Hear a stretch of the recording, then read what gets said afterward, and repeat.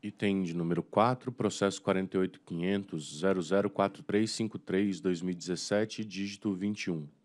Retificação da decisão proferida na 37ª reunião pública ordinária, que avaliou o pedido de medida cautelar interposto pela Itumbiara Transmissora de Energia S.A., em fase de decisão do Operador Nacional do Sistema Elétrico, com vistas à suspensão da aplicação de desconto de parcela variável por indisponibilidade, PVI, referente às indisponibilidades ocasionadas pelas explosões de transformadores de corrente modelo CTH-55, ocorridas no período de setembro de 2014 a julho de 2017.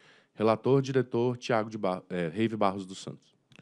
O ONS incluiu na apuração mensal de serviços de encargos o montante referente à parcela variável por disponibilidade eh, das seguintes indisponibilidades nos seguintes equipamentos. Primeiro, uma, devido à explosão do TC na SE Cuiabá, às 19h37 minutos do dia 22 de dezembro de 2016, após inspeção no pátio e constatação eh, sua integridade, o equipamento foi disponibilizado ao ONS às 19h57 minutos e ligado às 20 horas e 3 minutos.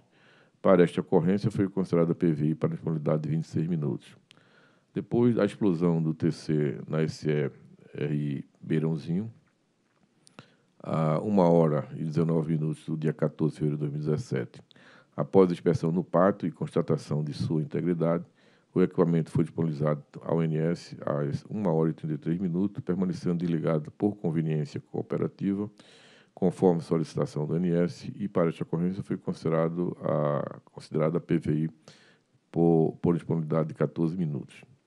Depois da explosão do TC da SE Cuiabá, às 13 horas e 29 minutos do dia 17 de fevereiro de 2017, após inspeção no pátio e constatação de sua integridade, o equipamento foi disponibilizado ao NS às 13 horas e 48 minutos e ligado às 13 horas e 49 minutos. Para esta ocorrência, foi considerada a PVI para a de 18 minutos. Ocorreu também o desligamento na barra BR1 da SE Cuiabá, de 500 kV é, e da linha 500 kV RI Beirãozinho, Cuiabá Circuito 1 e, consequentemente, do transformador 9AT01 por falta de caminho elétrico no lado de 500 kV. O transformador 9AT01 foi disponibilizado ao ONS às 13 horas e 43 minutos, sendo ligado aos 13h44. Assim, foi considerado uma PVI por disponibilidade de 14 minutos.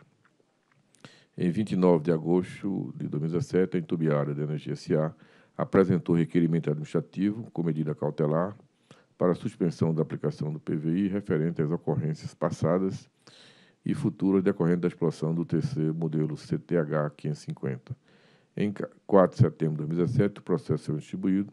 O processo foi incluído e posteriormente retirado da pauta da 34ª reunião pública ordinária ocorrida em 12 de setembro de 2017 o processo retornou à pauta da 37ª reunião, ocorrida em 3 de outubro de 2017, tendo sido deliberado com a decisão consignada do despacho 3.778 da mesma data. É o relatório.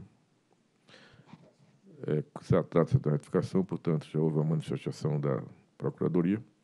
Como já relatado, após ter sido retirado de pauta na 34ª reunião pública ordinária, para que se fizesse ajuste na instrução processual, o processo retornou à pauta e foi deliberado na 37ª reunião pública ordinária, ocorrida em 3 de outubro de 2017. Ocorre que inconsistência no sistema de acompanhamento do processo submetido à diretoria, o SICOR, levam à ocorrência de falha na versão do voto e do ato administrativo disponibilizado no bloco da referida pauta e, consequentemente, publicado no Diário Oficial da União. Assim, faz-se necessária a presente retificação para estabelecer a correta decisão do pleito protocolado pela Entubiária Transmissora de Energia S.A., com a consequente anulação do despacho 3378 de 3 de outubro de 2017.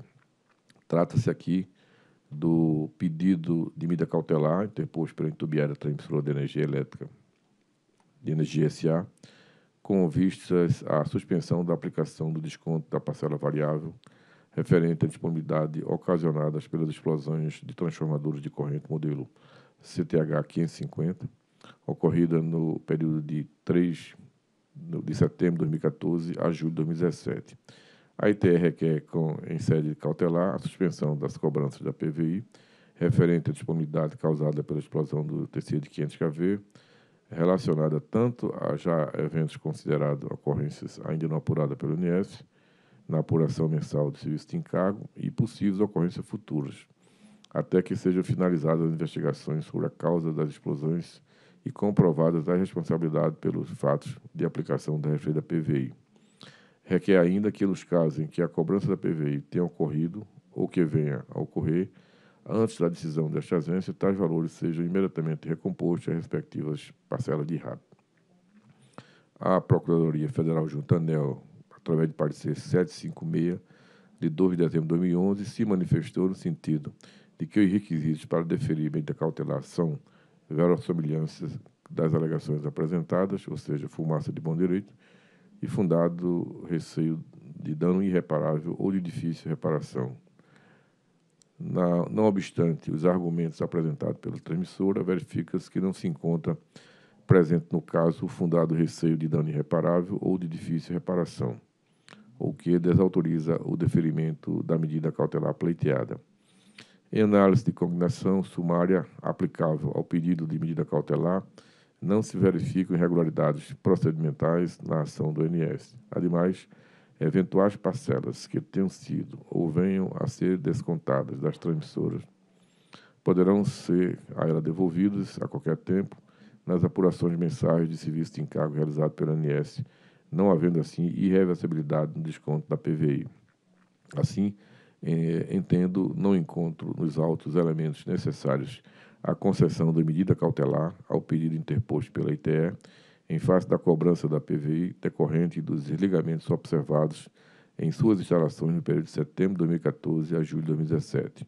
Entretanto, em recente decisão, este colegiado, avaliando idêntico pleito da Vila do Conde transmissora, deliberou pela suspensão temporária do desconto da PVI até 30 de novembro de 2017. Após essa data, independentemente de haver ou não resultado das análises determinadas sobre as causas das explosões em T6, o desconto de PVI relativo a esses desligamentos poderão voltar a ser aplicado pelo INS, a menos que tenha sido identificada alguma causa excludente de responsabilidade da transmissora, razão pela qual encaminho o voto no mesmo sentido.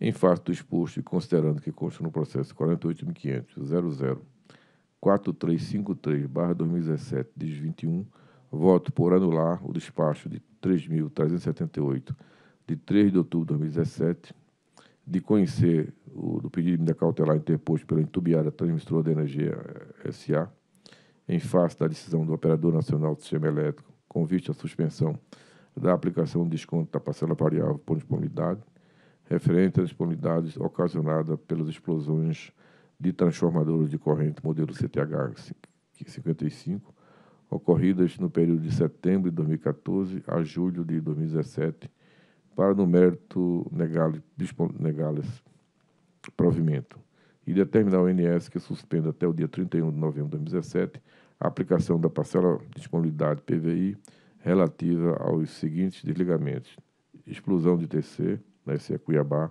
às 19 horas e 37 minutos do dia 22 de dezembro de 2016, a explosão do TC da SE Ribeirãozinho, a 1 hora 19 minutos do dia 14 de fevereiro de 2017, e a explosão do TC desligamento da barra BR1 da LT 500KV, que é R1 Ribeirãozinho, Cuiabá, circuito 1, e, consequentemente, do transformador 9AT01 da SE Cuiabá, às 13 horas e 29 minutos do dia 17 de fevereiro de 2017. É o, a retificação. Em discussão. Em votação. Acompanho o relator. Também voto com o relator. Proclamo que a diretoria decidiu por um, anular o despacho 3.378 de 3 de outubro de 2017 2. Conhecer do pedido de medida cautelar interposto pela Itumbiara Transmissora de Energia SA, em face da decisão do ONS com vistas à suspensão da aplicação do desconto da parcela variável por indisponibilidade PVI, referente a indisponibilidades ocasionadas pelas explosões do transformador de corrente modelo CTH 55, ocorridas no período de setembro de 2014 a julho de 2017, para, no mérito, negar-lhe provimento. E três, determinar ao ONS que suspenda até o dia 30 de 11 de 2017 a aplicação da PVI relativa aos seguintes desligamentos. 1. Um, explosão do TC da SE Cuiabá às 19 horas e 37 minutos do dia 22 de dezembro de 2016. 2. Explosão do TC da SE Ribeirãozinho, ocorrida a 1 hora e 19 minutos do dia 14 de 2 de 2017. E 3. Explosão do TC desligamento da barra BR 01 da LT 500KV, Ribeirãozinho, Cuiabá, circuito 1 e, consequentemente, do transformador é, 9AT01 da SE Cuiabá, às 13 horas e 29 minutos do dia 17 de fevereiro de 2017. Próximo item.